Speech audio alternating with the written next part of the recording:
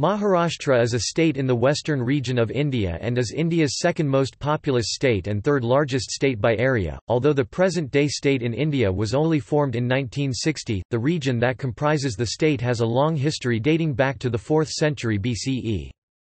From the 4th century BCE until 875, Maharashtri Prakrit and its Apabhramsas were the dominant languages of the region. Marathi, which evolved from Maharashtri Prakrit, has been the lingua franca from the 9th century onwards. The oldest stone inscriptions in Marathi language can be seen at Shravana Belgola in modern-day Karnataka at the foot of the Bahubali statue. In the course of time, the term Maharashtra was used to describe a region which consisted of Aparanta, Vidarbha, Mulak, Asaka and Kuntal. Tribal communities of Naga, Munda and Bhil peoples inhabited this area, also known as Dandakaranya, in ancient times. The name Maharashtra is believed to be originated from Rati, which means, chariot driver. Maharashtra entered the recorded history in the 2nd century BC, with the construction of its first Buddhist caves. The name Maharashtra first appeared in the 7th century in the account of a contemporary Chinese traveller, Huan Sang. According to the recorded history, the first Hindu king ruled the state during the 6th century, based in Badami.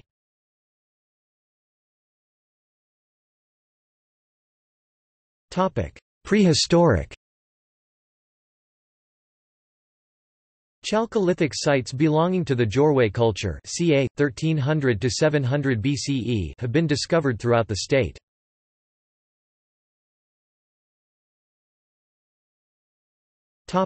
Maharashtra during 4th century BC 12th century AD The region that is present-day Maharashtra was part of a number of empires in the first millennium. These include the Maurya Empire, Satavahana dynasty, the Vakataka dynasty, the Chalukya dynasty and the Rashtrakuta dynasty. Most of these empires extended over a large swaths of Indian territory. Some of the greatest monuments in Maharashtra such as the Ajantha and Ellora caves were built during the time of these empires. Maharashtra was ruled by the Maurya Empire in the 4th and 3rd century BCE. Around 230 BCE Maharashtra came under the rule of the Satavahana dynasty which ruled the region for 400 years. The greatest ruler of the Satavahana dynasty was Gautamiputra Satakarni who defeated the Scythian invaders. The Vakataka dynasty ruled from c. 250 to 470 CE. The Satavahana dynasty mainly used Prakrit rather than Sanskrit or Dravidian languages, while the Vakataka dynasty patronized Prakrit and Sanskrit.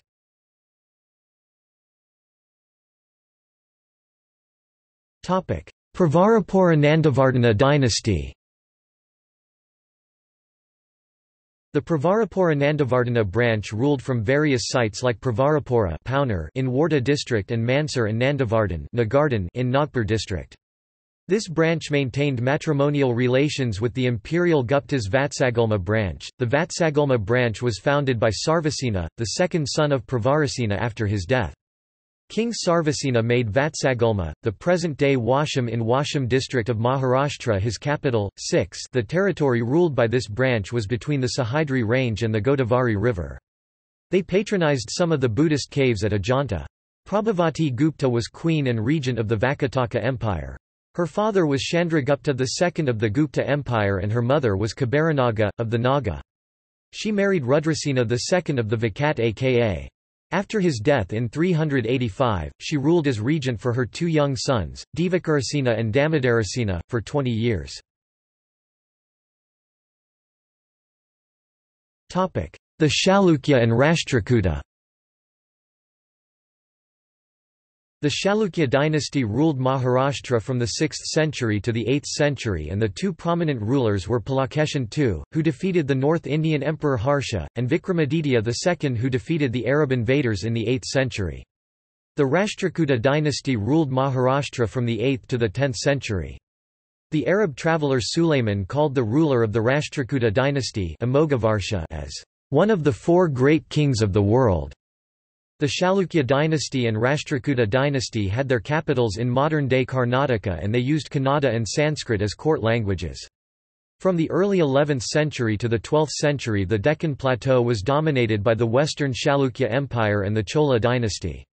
Several battles were fought between the Western Chalukya Empire and the Chola dynasty in the Deccan Plateau during the reigns of Raja Raja Chola I, Rajendra Chola I, Jayasimha II, Someshvara I and Vikramaditya VI. Between 800-1200 CE, parts of western Maharashtra including the Konkan region of Maharashtra were ruled by different Shilahara houses based in North Konkan South Konkan and Kolhapur respectively.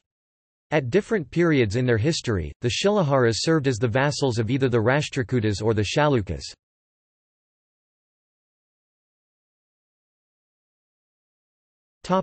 Yadav dynasty 12th–14th century The Yadavas of Devagiri dynasty was an Indian dynasty, which at its peak ruled a kingdom stretching from the Tungabhadra to the Narmada rivers, including present-day Maharashtra, North Karnataka and parts of Madhya Pradesh, from its capital at Devagiri present-day Daulatabad in modern Maharashtra. The Yadavas initially ruled as feudatories of the western Chalukyas. The founder of the Seuna dynasty was Dhridaprahara, the son of Subahu. According to Vratakhanda, his capital was Srinagara. However, an early inscription suggests that Chandradityapura modern Chandwad in the Nasik district was the capital. The name Seuna comes from Dhridaprahara's son, Seunachandra, who originally ruled a region called Seunadesha present-day Khandesh. Bhillama II, a later ruler in the dynasty, assisted Tailapa II in his war with the Paramara king Munja. Seunachandra II helped Vikramaditya VI in gaining his throne. Around the middle of the 12th century, as the Chalukya power waned, they declared independence and established rule that reached its peak under Singhana II. The Yadavas of Devagiri patronized Marathi which was their court language.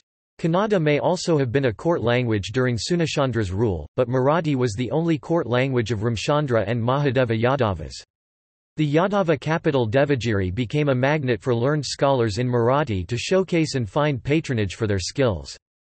The origin and growth of Marathi literature is directly linked with rise of Yadava dynasty, according to scholars such as George Morais, V. K. Rajwade, C. V. Vaidya, A. S.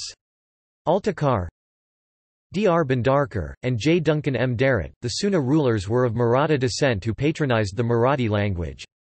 Digambar Balkrishna Mokashi noted that the Yadava dynasty was, "...what seems to be the first true Maratha empire."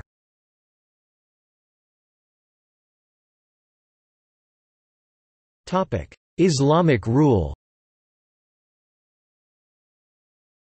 In the early 14th century, the Yadava dynasty, which ruled most of present-day Maharashtra, was overthrown by the Delhi Sultanate ruler Ala ud Din Khalji. Later, Muhammad bin Tughlaq conquered parts of the Deccan, and temporarily shifted his capital from Delhi to Daulatabad in Maharashtra. After the collapse of the Tughlaqs in 1347, the breakaway Bahmani Sultanate governed the region for the next 150 years from Gulbarga and later from Bidar. After the breakup of the Bahmani Sultanate in 1518, the Maharashtra region was split I between five Deccan sultanates, Nizamshah of Ahmednagar, Adilshah of Bijapur, Qutubshah of Golconda, Baridshah of Bidar and Imadshah of Elichpur. These kingdoms often fought with each other. United, they decisively defeated the Vijayanagara Empire of the South in 1565. The present area of Mumbai was ruled by the Sultanate of Gujarat before its capture by Portugal in 1535 and the Faruqi dynasty ruled the Khandesh region between 1382 and 1601 before finally getting annexed by the Mughal Empire. Malik Ambar, the regent of the Nizamshahi dynasty of Ahmednagar from 1607 to 1626 increased the strength and power of Murtaza Nizam Shah and raised a large army. Malik Ambar was a proponent of guerrilla warfare in the Deccan region.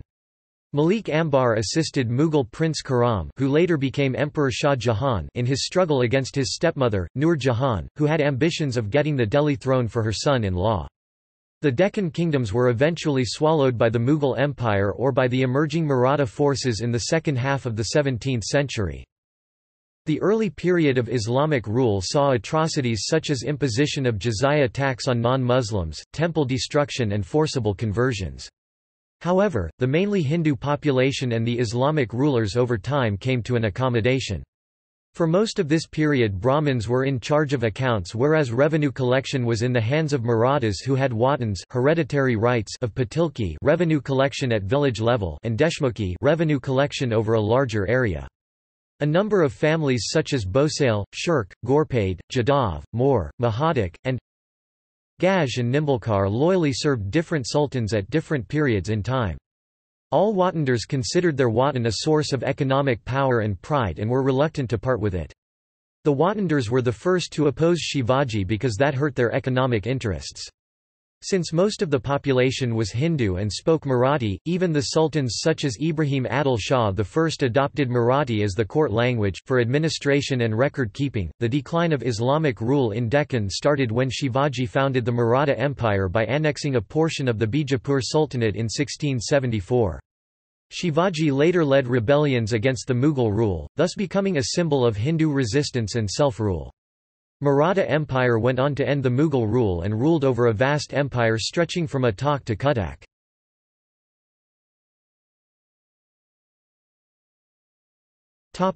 Maratha Empire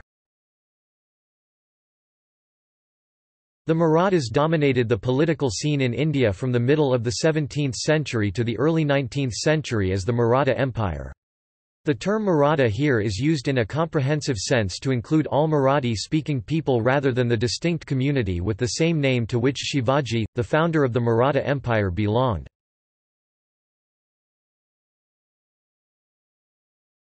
Chhatrapati Shivaji Maharaj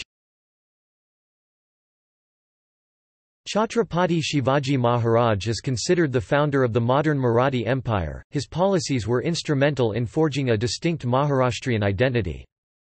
Shivaji Bhosale c. 1627–1630–3 April 1680, also known as Chhatrapati Shivaji Maharaj, was a member of the Bhonsle clan. Shivaji carved out an enclave from the declining Adilshahi Sultanate of Bijapur that formed the genesis of the Maratha Empire.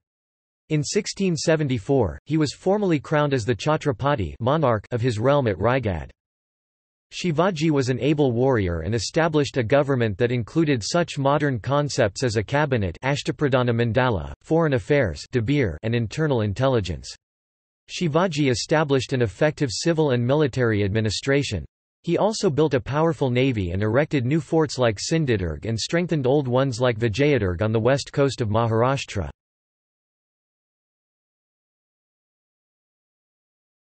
Topic: Expansion of Maratha influence in 18th century under Shahu I and Peshwa rule. The death of Aurangzeb in 1707, after an exhausting 27 years of war against the Marathas, led to the swift decline of the Mughal Empire. During much of this era, the Peshwas, belonging to the Bhat Deshmukh Marathi Chitpavan Brahmin family, controlled the Maratha army and later became the hereditary heads of the Maratha Empire from 1749 to 1818. During their reign, the Maratha Empire reached its zenith in 1760, dominating most of the Indian subcontinent. Bajirao I, the second Peshwa from the Bhat family was only 20 when appointed Peshwa. For his campaigns in North India, he actively promoted young leaders of his own age such as Ranoji Shinde, Malharrao Holkar, the Puar brothers and Palaji Gaikwad. These leaders also did not come from the traditional aristocratic families of Maharashtra. Separate from Bajirao I, Raghoji Bhonsle expanded Maratha rule in central and east India. All these military leaders or their descendants later became rulers in their own right during the Maratha Confederacy era. One of the tools of the empire was collection of chauth or 25% of the revenue from states that submitted to Maratha power. The Marathas also had an elaborate land revenue system which was retained by the British East India Company when they gained control of Maratha territory. Areas controlled by the Peshwa were annexed by the East India Company in 1818.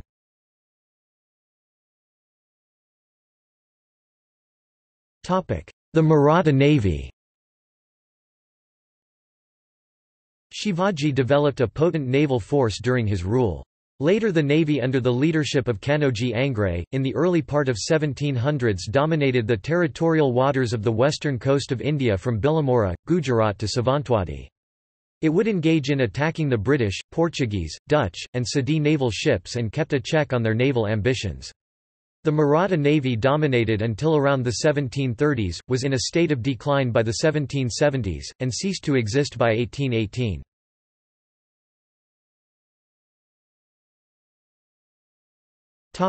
Maharashtra under British rule and the Freedom Movement The East India Company controlled Mumbai since the 17th century as one of their main trading post. The company slowly expanded areas under its rule during the 18th century. Their conquest of Maharashtra was completed in 1818 with the defeat of Peshwa Bajirao II in the Third Anglo-Maratha War. The British ruled for more than a century and brought huge changes, in every aspect of life, for the people who resided in the Maharashtra region. Areas that correspond to present-day Maharashtra were under direct or indirect British rule, first under the East India Company and then under the British Crown from 1858. The Maharashtra region during this era was divided into Bombay Presidency, Berar, Central Provinces, Hyderabad State and various princely states such as Kolhapur, Miraj etc. The British colonial period saw standardization of Marathi grammar through the efforts of the Christian missionary William Carey. Carey also published the first dictionary of Marathi in Devanagari script. The most comprehensive Marathi English dictionary was compiled by Captain James Thomas Molesworth and Major Thomas Candy in 1831. The book is still in print nearly two centuries after its publication. Molesworth also worked on standardizing Marathi. He used Brahmins of Pune for this task and adopted the Sanskrit dominated dialect spoken by this caste in the city as the standard dialect for Marathi. People from Maharashtra played an important part in the social and religious reform movements as well as the nationalist movement of the late 19th and early 20th centuries.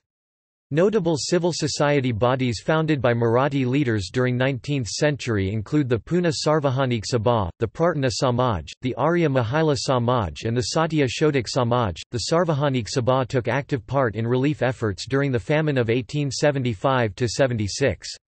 The Sabha is considered the forerunner of the Indian National Congress established in 1885.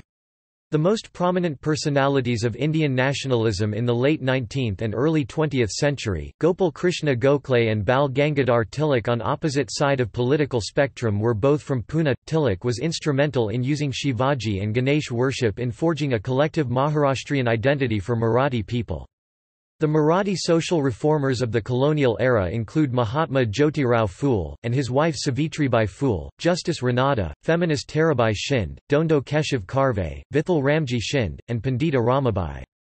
Jyotirao Phule was the pioneer in opening schools for girls and Marathi Dalits castes. The non-Brahmin Hindu castes of Maharashtra started organizing at the beginning of the 20th century with the blessing of Chhatrapati Shahu of Kolhapur. The campaign took off in the early 1920s under the leadership of Keshavrao Jedhe and Baburao Javalkar. Both belonged to the non-Brahmin party, capturing the Ganpati and Shivaji festivals from Brahmin domination were their early goals. They combined nationalism with anti-casteism as the party's aims. Later on in the 1930s, Jedhe merged the non-Brahmin party with the Congress party and changed that party from an upper caste-dominated body to a more broadly based but also Maratha-dominated party. Early 20th century also saw the rise of Dr. Ambedkar who led the campaign for the rights of Dalits caste that included his own Mahar caste. Ambedkar disagreed with mainstream leaders like Gandhi on issues including untouchability, government system and the partition of India. This did not prevent him from struggling for the rights of his brethren among the lower castes of the country. His leadership of Dalit or depressed classes led to the Dalit movement that still endures. Ambedkar most importantly played the pivotal role in writing the Constitution of India and hence he is considered as the father of the Indian constitution. The ultimatum in 1942 to the British to «quit India» was given in Mumbai, and culminated in the transfer of power and the independence of India in 1947. Rao Sahib and Achyutrao Patwardhan, Nanasaheb Gore, Sridhar Mahadev Joshi, Yeshwantrao Chavan, Swami Ramanand Bharti, Nana Patil, Dulappa Navale, V.S. Page, Vasant Patil, Dhondiram Mali, Aruna Asif Ali, Ashfaqullah Khan and several others leaders from Maharashtra played a prominent role in this struggle. B. G. Kher was the first chief minister of the trilingual Bombay Presidency in 1937. Although the British originally regarded India a place for supply of raw materials for the factories of England, by the end of 19th century modern manufacturing industry was developing in the city of Mumbai. The main product was cotton and the bulk of workforce in these mills was from western Maharashtra but more specifically from the coastal Konkan region. The census recorded for the city in the first half of the 20th century showed nearly half of the population of city listed Marathi as their mother tongue. During the period of 1835 to 1907, a large number of Indians, including people from Maharashtra, were taken to the island of Mauritius as indentured laborers to work on sugarcane plantations.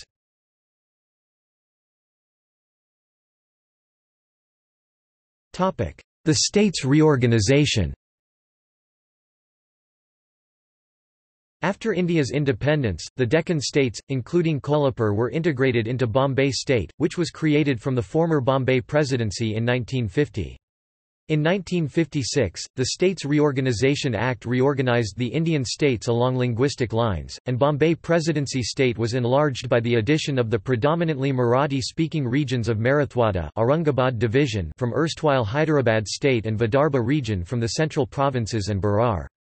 The southernmost part of Bombay state was ceded to Mysore. From 1954 to 1955, the people of Maharashtra strongly protested against bilingual Bombay state, and the Samyukta Maharashtra Samiti was formed to fight for a united Maharashtra for Marathi people. The Mahagujarat movement was started, seeking a separate Gujarat state. Keshavrao Jedhe, S. M. Joshi, Shripad Amrit Dange, Pralhad Keshav Atre and Gopalrao Khedkar fought for a separate state of Maharashtra with Mumbai as its capital under the banner of Samyukta Maharashtra movement.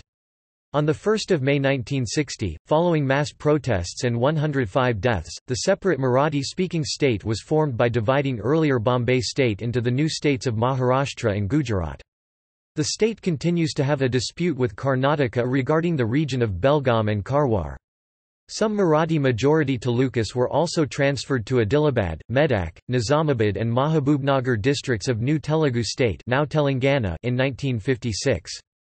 Even today, the old town names of all these regions are Marathi names.